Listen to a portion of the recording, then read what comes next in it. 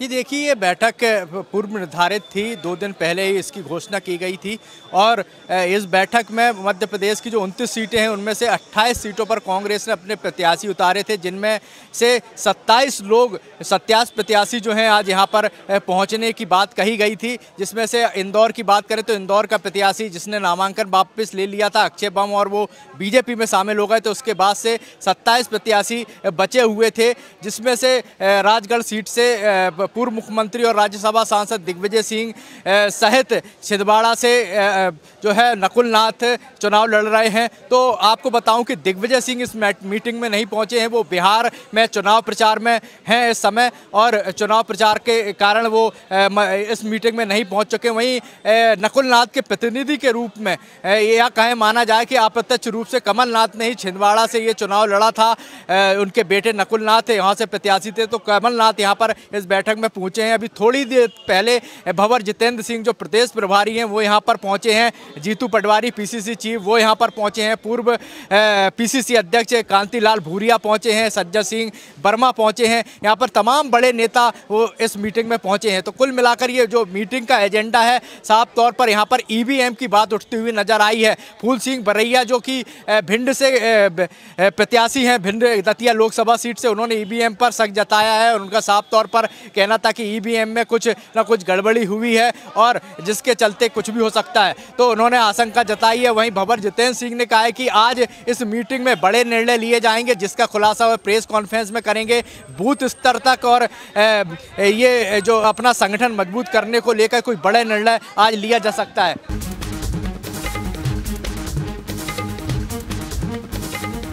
राजधानी रायपुर में एक बार फिर से शातिर चोर गैंग सक्रिय हो गया है। लगातार सूने मकानों को शातिर चोर अपना निशाना बना रहे हैं। कहीं ना कहीं रहवासी इलाकों में सूने मकानों में सेंधमारी से पुलिस की पेट्रोलिंग व्यवस्था पर भी लगातार सवालिया निशान खड़े हो रहे हैं। आखिरकार रहवासी क्षेत्रों में खुलेआम चोरी होना पुलिस की व्यवस्था पर एक बड़ा सवालिया निशान है। देखना होगा राजधानी रायपुर में बढ़ती चोरी की घटनाओं को लेकर रायपुर पुलिस द्वारा क्या कुछ एक्शन लिया जाता है। कैमरामैन रिजवान कुरेशी के साथ मोहम्मद सैन एन एस रायपुर।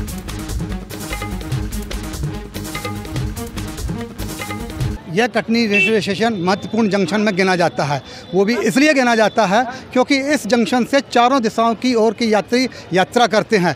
जो कि यात्रियों को तकलीफ़ ना हो, इसके लिए रेलवे यात्रियों की सुविधाओं के लिए इस स्टेशन पर लगातार विकास और विस्तार करती जा रही है। इसी को विस्तार को देखते हुए मध्य प्रदेश के प्रदेश अध्यक्ष, भाजपा प्रदेश अध्यक्ष और कटनी के सांसद बी शर्मा जी ने प्लेटफॉर्म नंबर एक में चलित विद्युत सीढ़ी का उपयोग विस्तार किया था। इसलिए क्योंकि इस सिड्डी से अपना विकलांग हो, वृद्ध हो और वह अपना गर्भवती महिला हो, ये यात्रा सीढ़ी के माध्यम से ट्रेन तक पहुँच सकें।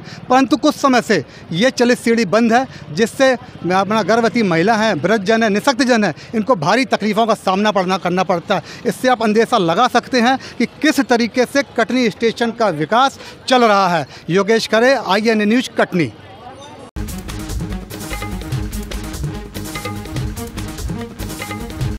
भिंड ज़िले में मेहोना नगर वासी पानी समस्या से जूझ रहे हैं। पचास साल पुरानी नल लाइन। जो कई जगह फूट गई है, कई जगह खराब हो चुकी है, उस जगह नाले का पानी आ रहा है। कई बार जिला प्रशासन को अवगत कराया गया है, नगर नगर प्रशासन को अवगत कराया गया है मेहोना में, लेकिन उसका, उनका निराकरण नहीं हुआ है। लेकिन ये देखा जा रहा है, कई बार इस दूषित पानी को पीने से वहाँ के लोगों को परेशानियों का सामना करना करना पड़ रहा है। किसी की तबीयत खराब हो रही है तो किसी को लेकिन भिंड में देखा गया है, सबसे बड़ी बात है, भिंड में आईएनएस न्यूज़ ने इस खबर को प्रमुखता से दिखाया गया प्रवक्ता दिखाने के बाद जिला प्रशासन हरकत में आया है। भिंड कलेक्टर संजीत श्रीवास्तव ने अधिकारियों को निर्देश किया गया है कि जल्द से जल्द इसके, इनको जो दूषित पानी पी रहे हैं, इनको पानी सही किया जाए और जो पाइपलाइन टूटी है, फूटी है, उसको दुरुस्त किया जाए। जो यहाँ पर प्रशासन का अमला बराबर पहुँचा गया है। जिन लोगों ने पानी की जाँच की है, कहाँ पे पानी की पाइपलाइन फूटी है और कहाँ पे क्या हुआ है तो उसको दुरुस्त करने में अमला लगा है। लेकिन देखा गया है कि आई एन एच इंटू की खबर का एक बड़ा असर हुआ है, जो मेहौना नगर पंचायत में इसका असर हुआ है। देखना ये होगा, कब तक जल्द से जल्द प्रशासन इसको पूरा सही कर लेगा और लोगों को पानी सही से पीने को मिलेगा, नगर प्रशासन को। Shubham Jain I N S news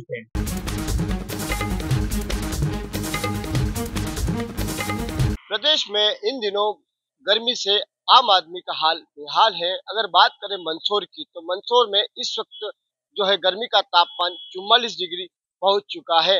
आम आदमी गर्मी से बचने के लिए शीतल पेयजल का उपयोग कर रहे हैं। वहीं गाड़ी से और बाहर निकलने वाले लोग अपने आप को किसी भी प्रकार से गर्मी से बचाने के लिए तमाम तरह के जतन कर रहे हैं। Kamlesh Modi I news Mandsaur.